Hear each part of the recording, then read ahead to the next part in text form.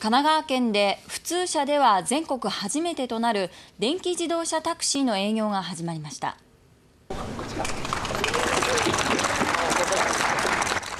導入された電気自動車のタクシーは10台で1台につき年間およそ8トンの二酸化炭素を削減できます。また乗車料金はこれまでと変わらないということです。松沢県知事は急速充電器の設置などインフラの充実を推進し来年3月までに100台の導入を目指すとしています。